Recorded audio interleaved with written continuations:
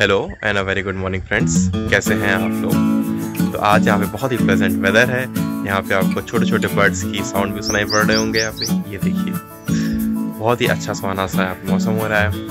तो मैं आपको एक बताना, चीज़ बताना चाहता हूँ, जो कि ये है कि इस सीज़न का पहला mango shake I had it just yesterday और मैंगो शेक आप कह सकते हैं कि मेरी फेवरेट शेक है या फिर स्मूदी है या आप जैसे भी बना दें उसको मतलब फेवरेट चीज़ है। मैं, मुझे बहुत ज़्यादा पसंद है मैंगो शेक तो कल तो मैंने इसको पहली बार पिया। अब बात आती है मैंगो की। तो जो मैंगो होते हैं मैंगो की इतनी सारी चीज़ें बनती हैं और सारी ही चीज़ें जो होती हैं, वो बहुत ही टेस्टी लगती हैं। तो आप कई सारी चीज़ें आपने भी मैंगो की खाई होंगी, आपने सुनी होंगी। आज आपको एक मैंगो की अलग सी चीज़ हम दिखाएँगे, जो कि शायद आपने सुनी ना हो। बट जब आप इसको बाद देखेंगे और बनाएँगे तो आपको ये इतनी पसंद आने वाली है कि आपको बस मज़ा ही आ जाएगा। तो क्या बनाने वाले हैं आज हम लोग? आज हम लोग बनाएँगे मैंगो जली बर्फ़ी। यस पहली चीज़ तो कि हम मैंगो से जली बनाने वाले हैं। आप सोच लीजिए कितना बढ़िया लगेगा उसको खा के। साथ साथ वो बर्फ़ियाँ हैं। तो मैंगो जली बर्फ़ी एक खट्टे, मीठे और जली के साथ एक बहुत ही डिफरेंट सा इसका टेस्ट आता है, इसका फ्लेवर आता है और मज़ा ये जाता है खा के। तो अब लेट क्यों करना है? अब ज़्यादा वेट कराऊँगा नहीं मैं। तो चलिए चलते हैं हम किचन में। और बनाते हैं मैंगो जली बर्फियाँ। तो सबसे पहले हम क्या करेंगे कि आम लेंगे तो हाँ। उसको छील के छील के उसके जो गुदे हैं उसके काट के निकाल लेंगे। अच्छा कच्चे आम को कच्चे आम को। अच्छा। तो छील लेते हैं। छील लेते हैं छील के निकाल लेंगे। देखो हमने आम को छील के उसका जो गूदा था काट के निकाल लिया है। अब ऐसे भी खा सकते हैं। ऐसे भी खा सकते हैं। इसमें थोड़ी गुठली बननी शुरू हो गई थी। अच्छा। तो हमने साइड साइड से उसका निकाला है। गुठली अच्छा। कड़ा हिस्सा नहीं आना चाहिए। हम्म। उसका ध्यान रखें।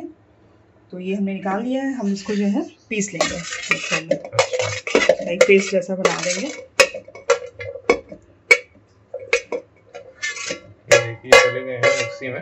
पीस लेंगे। इसमें पानी डाल देंगे। और इसका एक पेस्ट तैयार कर लेंगे। चलिए ठीक है। ये देखो आम हमने पीस लिया है। हाँ। इसका एक लिक्विड तैयार हो गया हमारा। हम्म, ठीक है। अब क्या करेंगे? इसको हम डाल देंगे पैन में। अच्छा मतलब कुक करेंगे इसको। इसको कुक करेंगे। इसको पैन में डाल देंगे। और इधर बीच में हम क्या करेंगे? एक हम्म। एक बाउल लेंगे उसमें पानी लेंगे। अच्छा। और उसमें डालेंगे कॉर्नफ्लोर अच्छा। घोल मतलब कॉर्नफ्लोर का पेस्ट तैयार कर लेंगे? ये हमने इसका कॉर्नफ्लोर और पानी का घोल बना लिया है। हाँ। अब क्या करेंगे कि इसमें हम जो पैन में लिया हुआ है इसमें डालेंगे काला नमक। अच्छा। क्योंकि आम खट्टा बहुत होता है तो थोड़ा सा हम्म। काला नमक डालने से या नमक डालने से इसका खटास कम हो जाती है। अच्छा। और डाल देंगे चीनी। मिला लेंगे मिला के रख देंगे गैस के ऊपर। अच्छा। इसको फ्लेम ऑन करके लो फ्लेम पे इनको कुक करेंगे।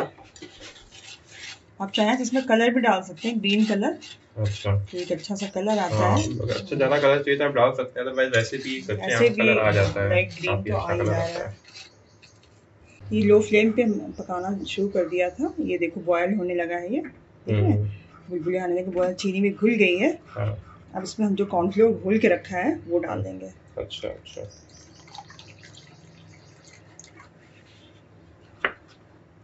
कॉर्नफ्लोर से इसकी कंसिस्टेंसी अच्छी हो जाएगी ठीक हो जाएगी। और गैस की फ्लेम धीमी ही रखेंगे। हम्म, हम्म। लगातार हमको चलाते रहना है। अच्छा अच्छा। इसी बीच में हमने एक टिन में थोड़ा सा घी लगा लिया है। हाँ। इसी में हमको सेट करना है। ठीक है। तो इसको हम पका पकाना है। जब तक कि इसकी थोड़ी थिक कंसिस्टेंसी ना हो जाए। लगातार अच्छा। चलाना है। ठीक है। क्योंकि कॉर्नफ्लोर है तो ये तुरंत जली सा बनाने लगेगा। गाढ़ा हो रहा है हम्म, थोड़ी देर में हो जाएगा ये गाढ़ा बस दो तीन मिनट मुश्किल से लगता है। अच्छा।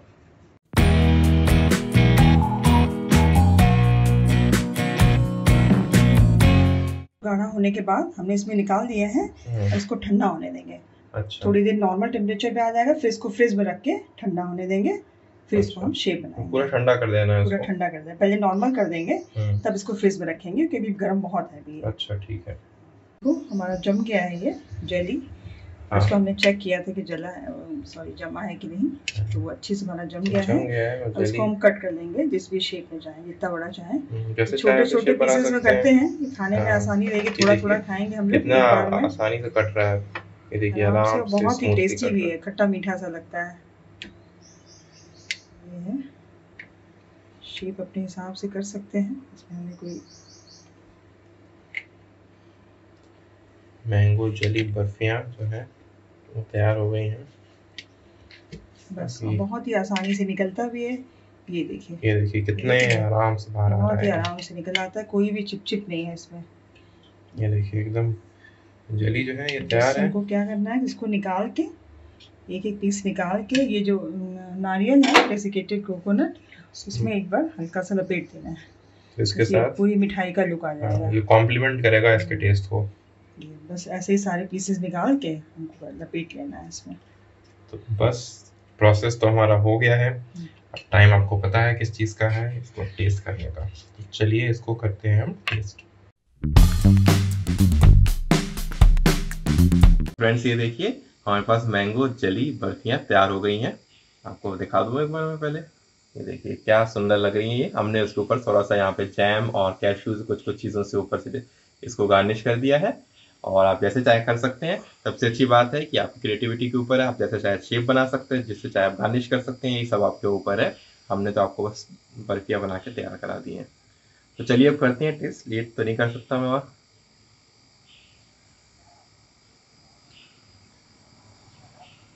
एकदम आप जैसे कोई हल्की सी खट्टी मीठी चीज़ है जरा सा आपको लगता नहीं कि तो खट्टा सा आया तो अच्छा भी लगता है आपको। उसके उसके बाद थोड़ा सा मीठा फ्लेवर आ रहा है। जिससे आपको ऐसा भी नहीं बहुत ज़्यादा खट्टा खा लिया। परफेक्ट फ्लेवर्स हैं। बहुत बढ़िया है ये। अब क्या है कि अब इसको आप एक और खा सकते हैं। बहुत बढ़िया फ्लेवर इसका आ रहा है। छोटे छोटे हैं। कई सारे खा सकते हैं। टेस्ट अच्छा है। और अच्छी बात है, जैसे कि लेट नाइट सेविंग्स होती हैं। रात में बारह बजे जगे हुए कोई काम कर रहे हैं, कुछ भी कर रहे हैं, कोई मूवी देख रहे हैं आप। मन किया कुछ खाने का। अब कुछ, आप कुक करेंगे, कुछ बनाएँगे तो बहुत टाइम लग जाता है। और बिस्किट जैसी चीज़ें खाएँगे तो बहुत हेल्दी नहीं होती तो आप क्या खाएँगे? आप इसको खाइए। टेस्ट बहुत अच्छा आने वाला है। इसमें कुछ अनहेल्दी नहीं है हेल्दी है। हर तरीके से अच्छा है तो आप इस तरीके से भी इसको यूज़ कर सकते हैं। एक बहुत अच्छी अच्छा तरीका है आपके लिए। तो फ्रेंड्स अब मेरा तो काम हो गया है यहाँ पे पूरा। काम अब आपका है। आप जाइए, इसको बनाइए। बना के आप अपने फ्रेंड्स को खिलाइए, अपने फैमिली को खिलाइए, खुद भी खाइए। और फिर मुझे भी बताइए कि आपको ये कैसा लगा। तो thanks lot for hanging out with me घर पे रहिए सेफ़ रहिए और इस वीडियो को लाइक करिएगा and also subscribe to my channel